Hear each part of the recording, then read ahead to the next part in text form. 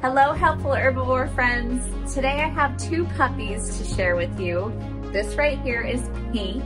She was one of nine Border Collie mix puppies and um, just absolutely the sweetest disposition.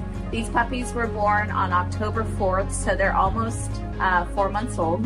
This is Green, he's a little boy, uh, big boy, look at these paws.